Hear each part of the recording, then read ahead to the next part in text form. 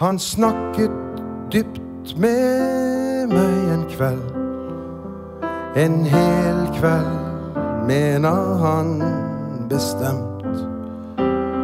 Praten var god og spesiell, og han har ikke glemt en sånn venn. Vi kunne blandet blod.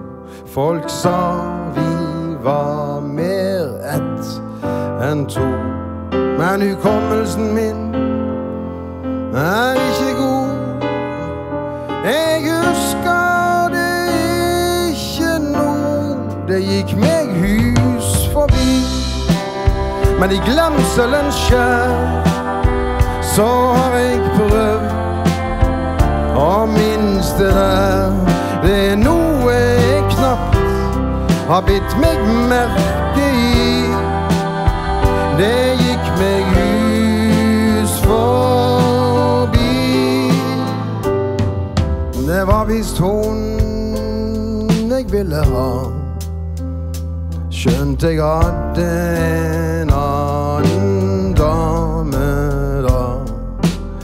Men hun her var visst dobbelt så bra. Ja, det var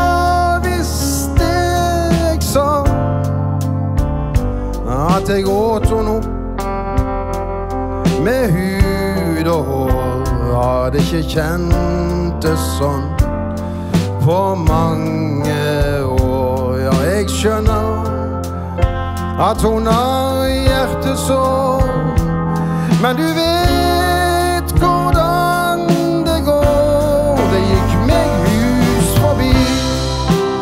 Men i glemselens skjær så jeg prøvd å minnes det der. Det er noe jeg knapt har bitt meg merke i. Det gikk meg hus forbi. Allting har jeg oversett. Kanskje full distré og trett. Alt er tomt. Var kjenner ikke deg igjen. Nei, tenk så dum, dum, dumt.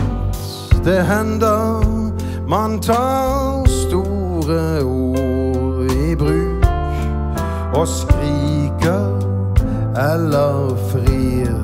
Man kaller inn sin nye bror. Men du vet